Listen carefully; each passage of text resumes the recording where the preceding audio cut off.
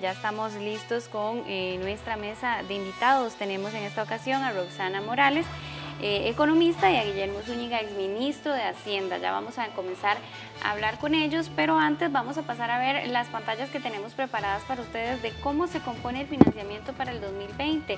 Y es que en el 2019, por cada mil colones de eh, la deuda era de 535 colones y los impuestos de 467 colones. Eh, para el 2020 la deuda será de 480 y los impuestos de 520. Ahorro, el ahorro de deuda será de 53 colones por cada mil colones. Y vamos a pasar de inmediato a la otra pantalla que dice el déficit para el 2020.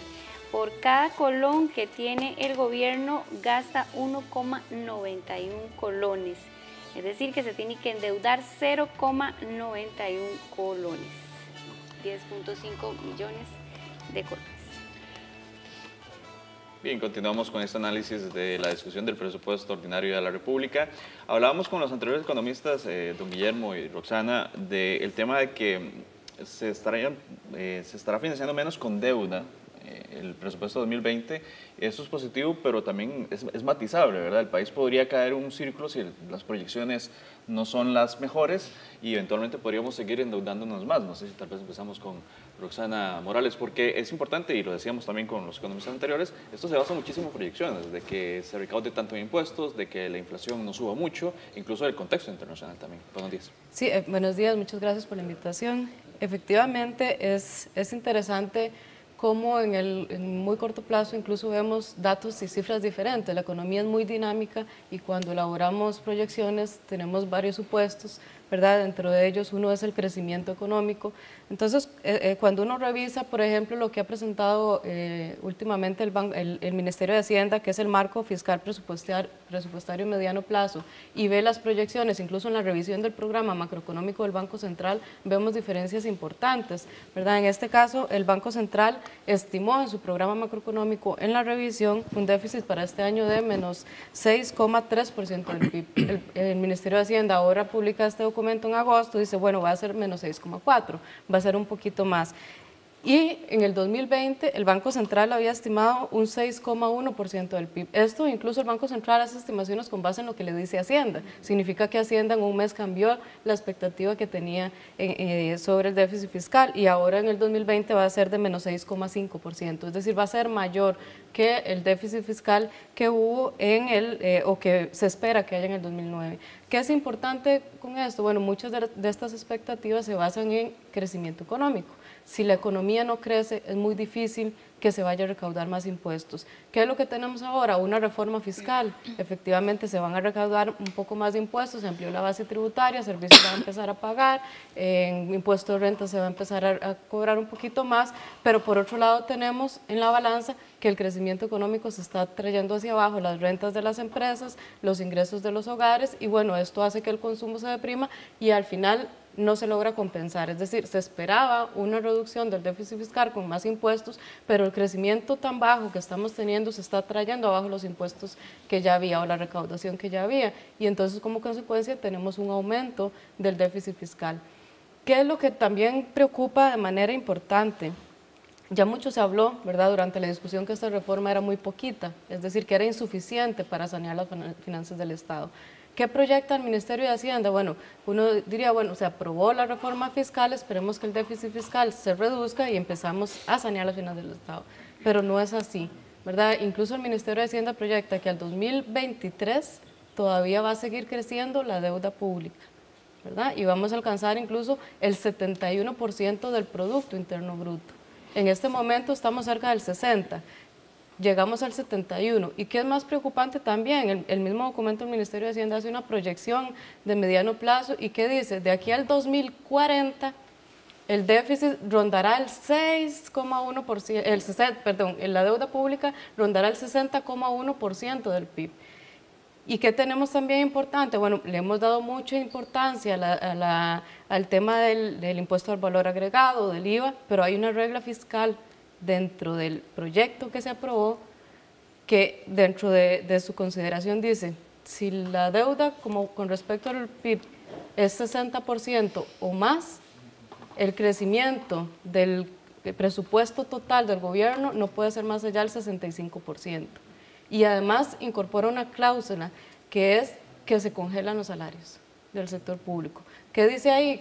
mientras la deuda esté por encima del 60%, los salarios no se van a ajustar ni siquiera por inflación. Si llegáramos a, ese escenario. El otro año. En el 2020, ya, el próximo año llegamos a ese escenario. Eso es lo preocupante. La mesa de ustedes, podemos participar todos. perdón.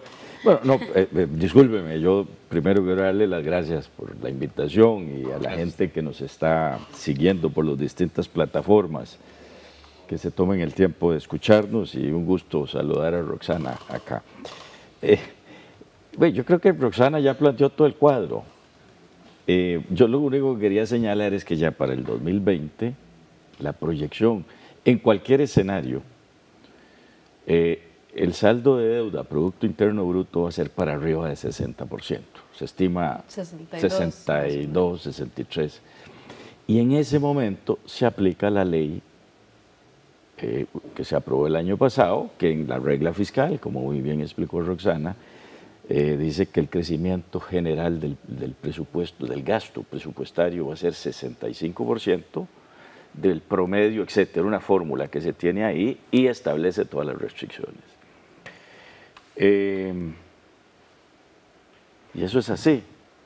Pero la proyección, y, yo sinceramente eh, sugiero invito a la gente que le interese estos temas, que se lea el marco fiscal presupuestario de mediano plazo que presentó el Ministerio de Hacienda, porque es un documento muy valioso, es un documento técnico, los colegas de Hacienda los conozco y los respeto, lo que ahí plantean es la opinión que le está llevando el Ministerio de Hacienda a la Asamblea Legislativa, y ahí nos metemos todos porque la Asamblea Legislativa en el fondo nos están presentando el documento a todos, eh, donde inclusive ellos presentan, porque como bien plantea Roxana, desde el punto de vista del análisis, mucho va a depender, y ustedes lo plantean, son proyecciones, sí, son proyecciones, y eso va a depender en buena medida de cuánto crezca la economía.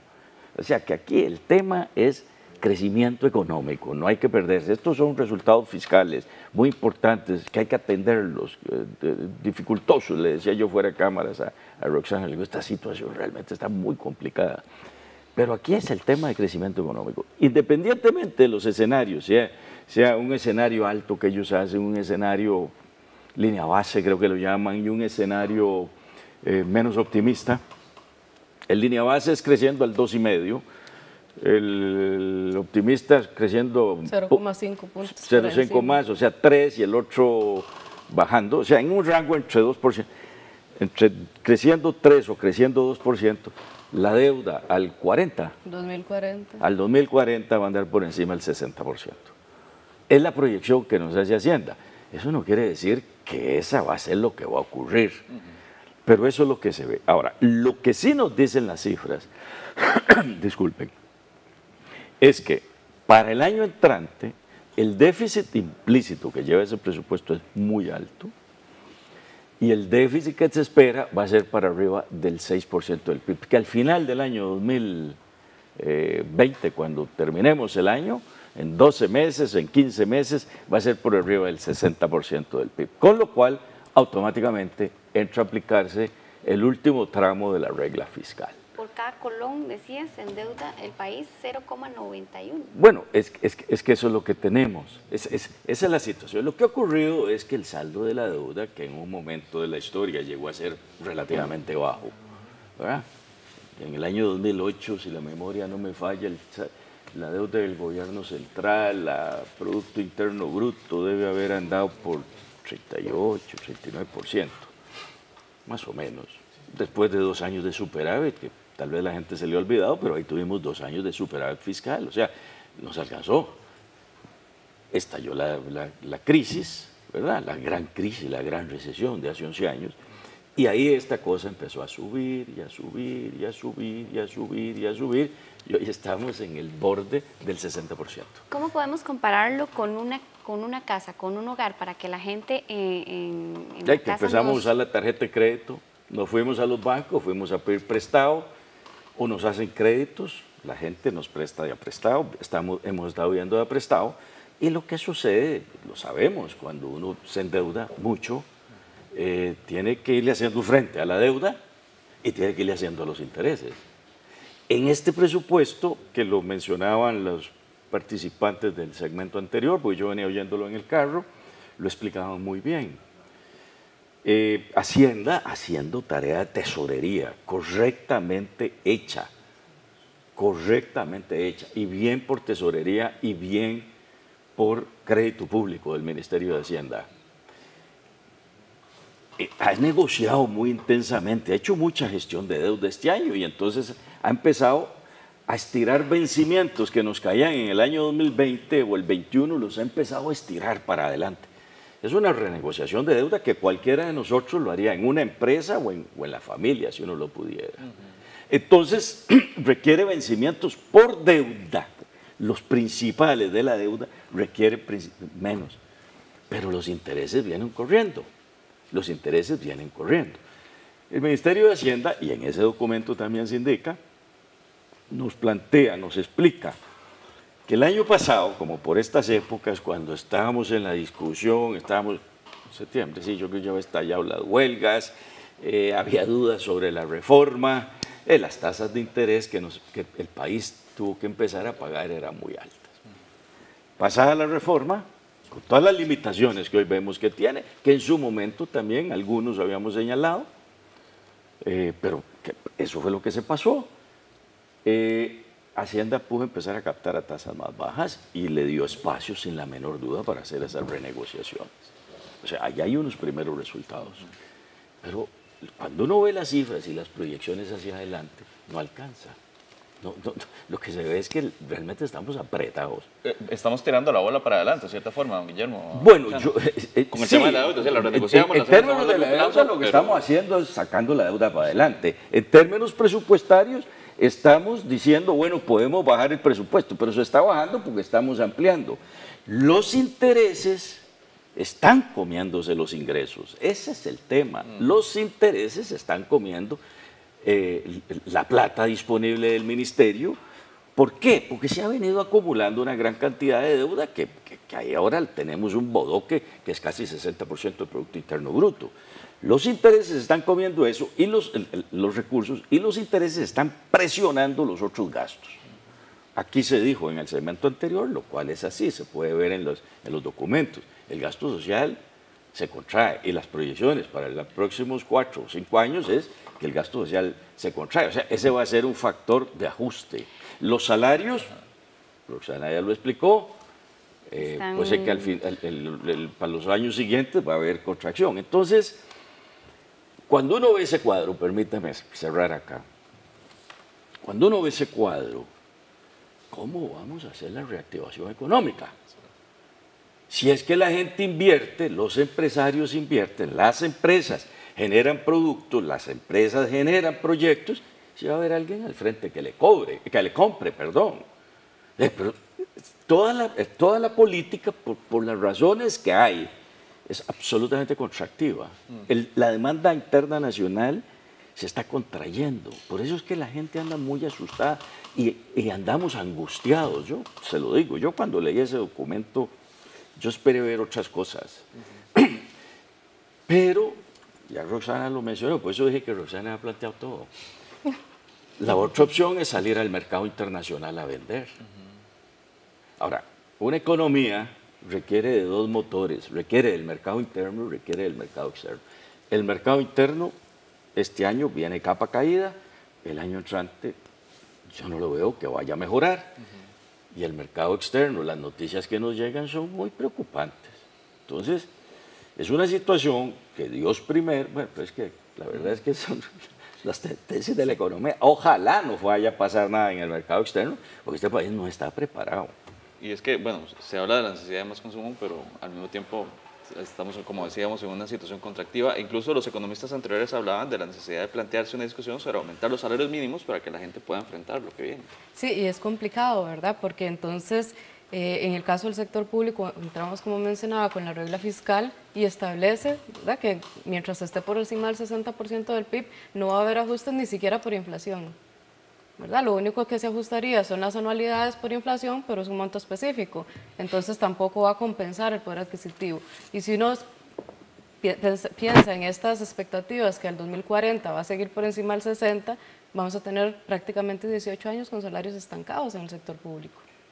Eso jamás podría reactivar la economía, más bien al contrario, ¿verdad? En, este momento, cuando más bien ocupamos reactivar el consumo, una política de contracción de los ingresos, incluso ingresos reales, ¿verdad? Porque aquí estamos hablando de que el poder adquisitivo de las personas va a ir reduciéndose a través del tiempo, incluso podría tener efectos sobre el funcionamiento del sector público, sobre la calidad de los trabajadores, ¿verdad? Porque empezaría entonces la competencia con el sector privado en cuanto a salarios eh, base.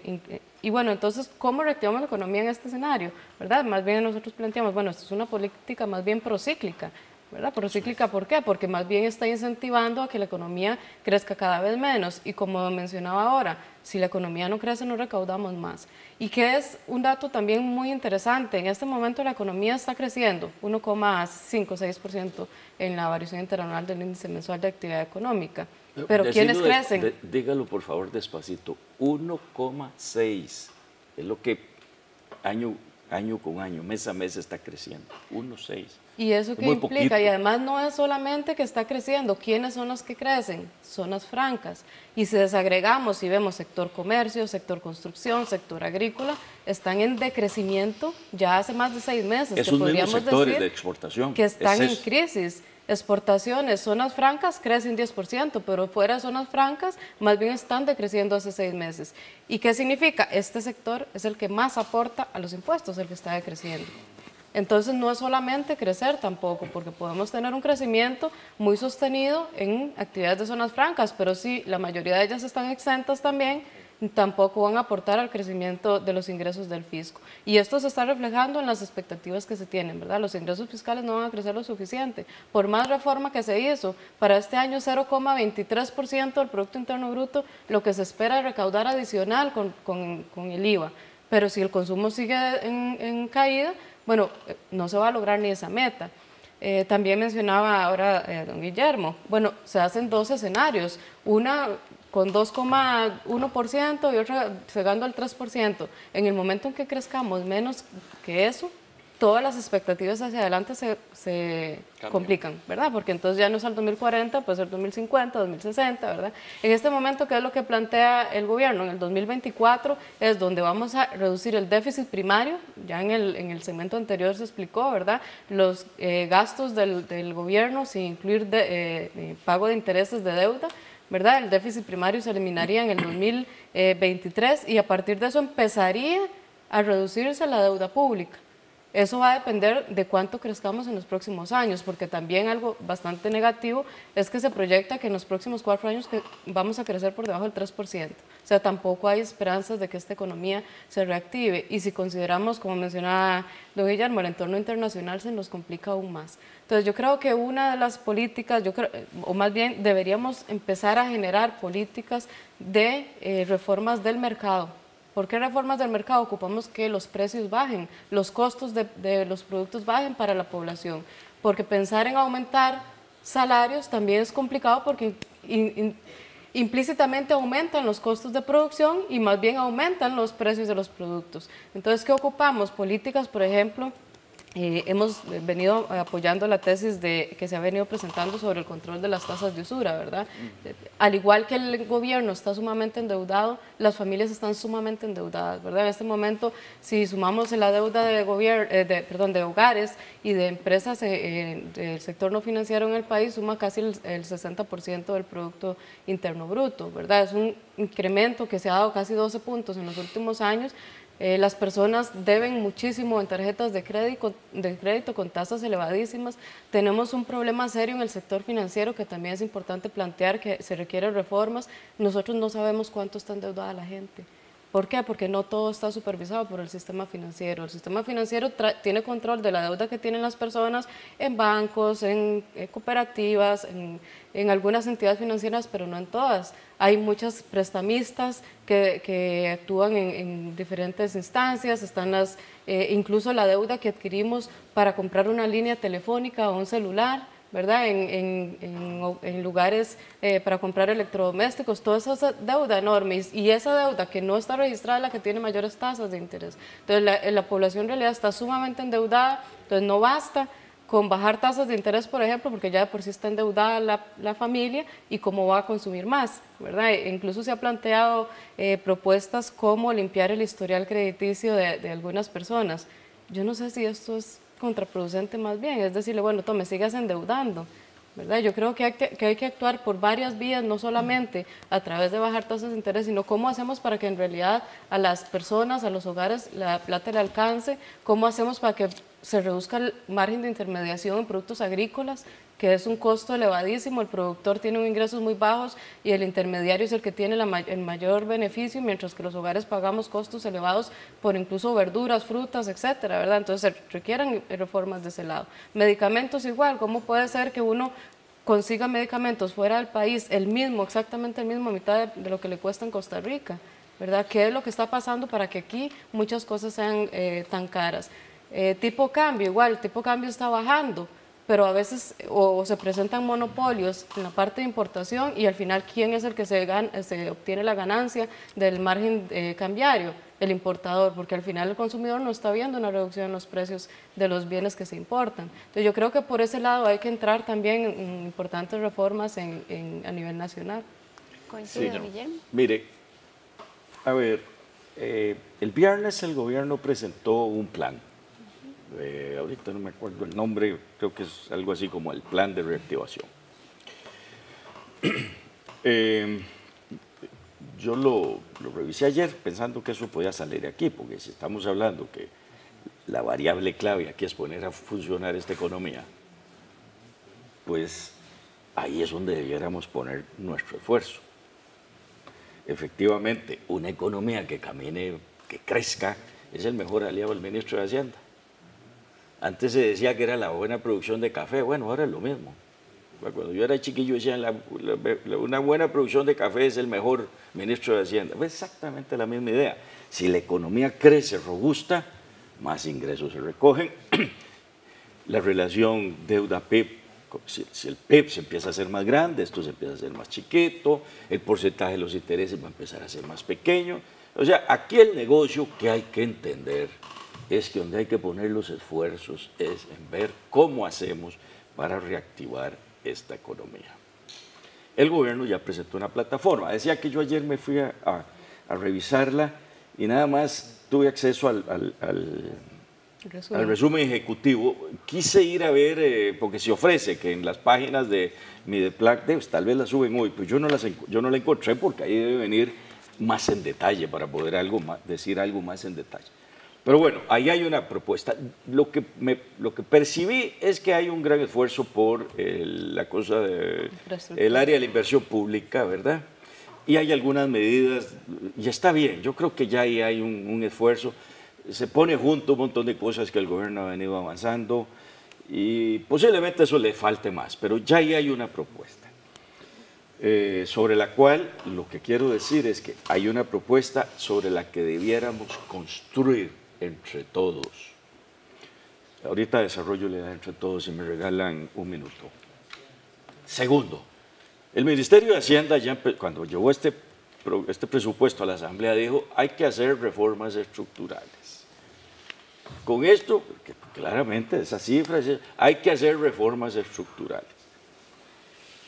El Ministerio o el Gobierno no ha dicho cuáles son esas reformas. Y entonces yo en un comentario que escribí el sábado pasado decía que a mí me gustaría ver esas reformas para empezar a conversar. Porque cuando uno ve esta situación realmente, eh, esto es como una bomba de tiempo.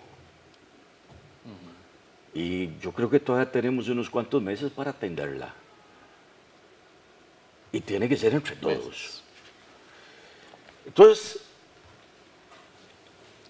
Reformas estructurales, eh, yo tomo la palabra, me parece bien, pero eso hay que trabajarlo y hay que trabajarlo con cuidado.